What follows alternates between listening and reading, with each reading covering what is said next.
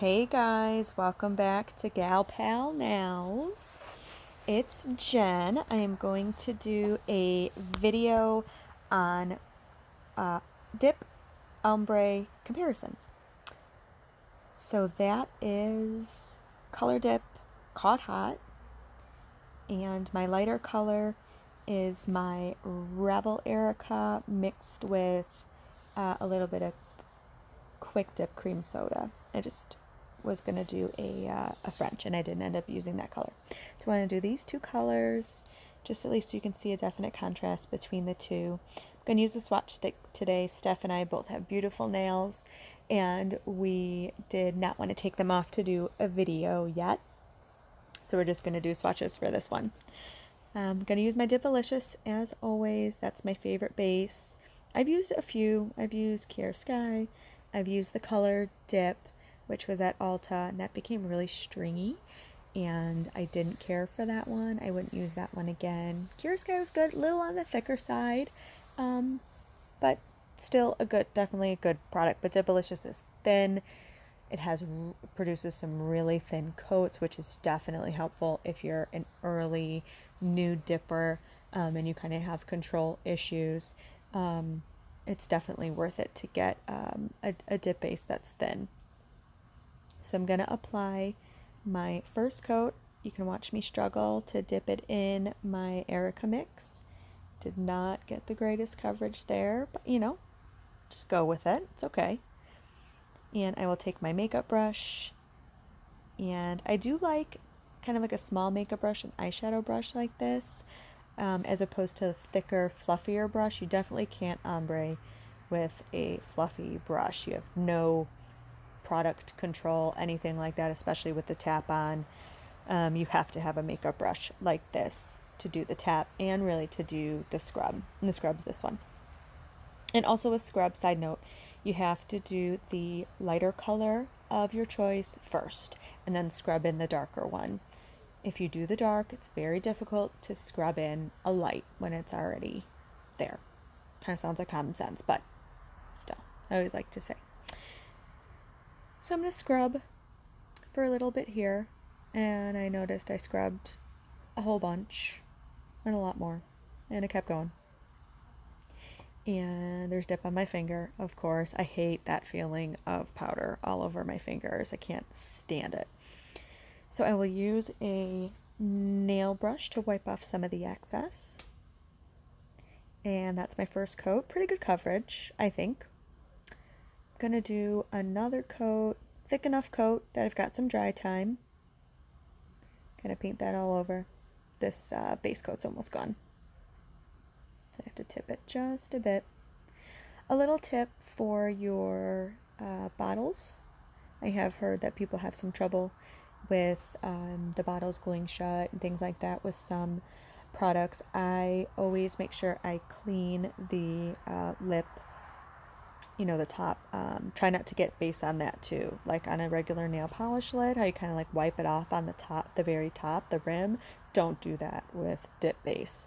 Um, kind of if you're wiping any excess, do it on the inside of the of the rim. Um, and then I always wipe that clean. And then I take like a little cheapy cuticle oil and rub it around the threads and twist my cap on till it's decently tight and then I reverse it a little bit like a half a turn or even a full turn just to make sure it is not completely turned on really tight because um, it will get stuck for sure. So leave it, you know, unscrewed just a little bit, not like so it's loose, but just enough so you can still get it off. Um, that Dipalicious bottle I've had for four months and I have not had any issues with it getting shut on me ever, not one single time. So just a little tip. Um, so haven't really been paying attention. Sorry. Um, as a little side note, the second um, coat I did think was um, enough coverage. Um, I thought it was pretty good with the scrub technique. Um, you'll see in the, the difference with the tap over. Um, I think I do three coats there uh, with this one, I did get pretty good coverage with just the two. So I'm pretty sure I stopped there. So I will let you watch for a couple minutes and come on back in just a few. Okay, so here is the next swatch that we are going to do the tap over method. Same procedure. This time, instead of dipping completely in the Revel Erica and cream soda mix, we are going to grab an additional brush. This is a very fancy Crayola paintbrush um, from my son. Hard to find, can't find these anywhere, you know. Um, it was usually one that I just used to, to brush off excess powder with. Um, so I use that. The brushes are definitely too long and for sure was more difficult to get the the coverage. I like the makeup brush better. It gave me more control of where the powder went. And overall, I should have gotten, you know, two makeup brushes when I was at the Dollar General, but I didn't. Have to make a trip out during quarantine to Dollar General. Nurses get a 10% discount, so that's great. Um, so I will take my uh, pink and tap, tap, tap. A lot of tapping here. A lot of tapping. Um, I will definitely for, fast forward some of it so you don't have to watch so much tapping. So you kind of mix the two colors together right in the middle to get your ombre effect. And with the tap over method, uh, once you've done your first coat, get some of the excess off there. Once you've done your first, when you do your second, you will switch the order of the powders when you apply them. So you will start with the pink first and then move to the, the Revel mix.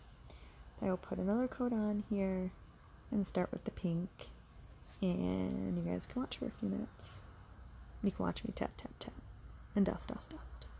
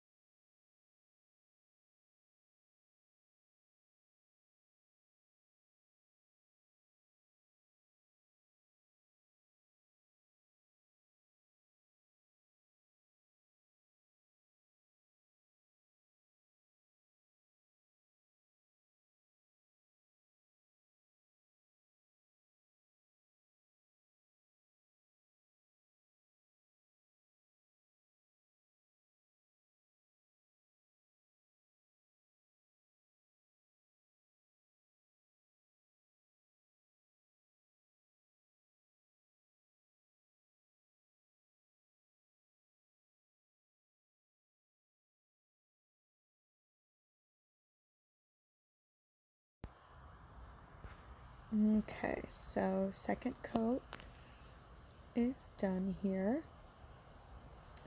I just don't think there's quite enough coverage on those two coats. Nope. Hand behind it, the definite no. I'm gonna do one more coat on here to see maybe if I can get that pink to be a little bit darker. Maybe even have that that Revel mix be a little bit darker too. So, more tapping, lots more tapping, so much tapping. Keep watching.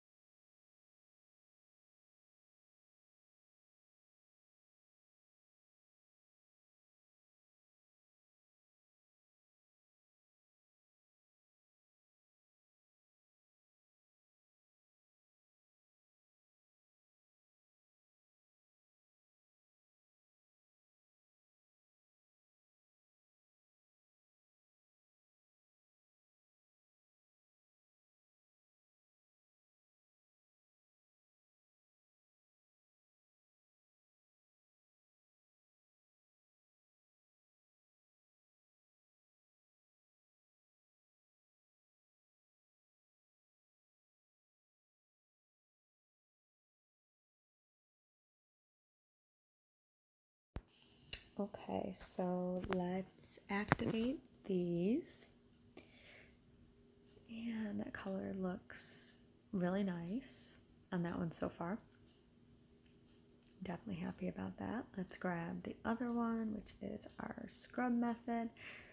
That one looks pretty good. I think I might like that one better. Mm, yeah, I did. I knew I would. So we'll give those a minute to dry. Of course, the activator takes, you know, at least a minute.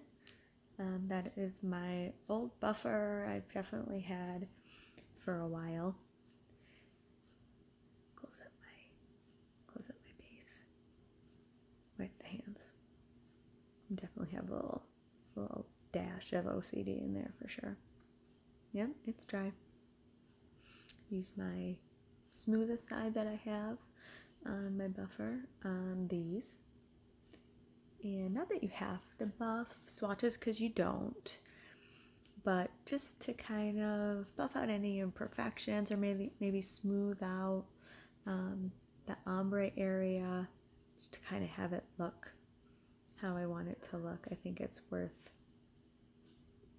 worth a you know a buff or two. So we'll go ahead and do that and get to the scrub one and do that one also. I don't know, the way they're coming out with the comparison, I mean, are they both good methods? Yeah, I think they are. Um, I would say I prefer the scrub. It just looks a little bit better the depth of color is better, the transitions better, but I think it's just personal preference. I think some people might like the one on the right. Maybe I just need a little more practice. Um, I did notice on my voiceover when I was outside, there are crickets in the background. And you might think, oh, it's a special effect. Wow, she's really talented. How'd she get those crickets in there? No, I live in Florida, and honestly, when I was recording, I didn't even hear the crickets. And now I can hear my clock ticking second by second. I'm wondering if you guys can hear that too. Um, back to the video. So that is a, Sally Hansen gel top coat. Doesn't need any light. It's just a drugstore brand. That's what I used before I went to a UV non-wipe gel top coat. That's what I use now on my nails. Just the shine, just can't compare. Um, there are, I've heard, a lot of good dip top coats. Um, I just I haven't tried out a lot of brands. I'm going to. I plan on it. Um, but I just got right into the gel because I felt like I had really seen some people have it and it was superior. So that's about it. I, am gonna say the uh, the scrub technique wins. If you like this video, please like it, subscribe. Stefan, I would love it. Thank you.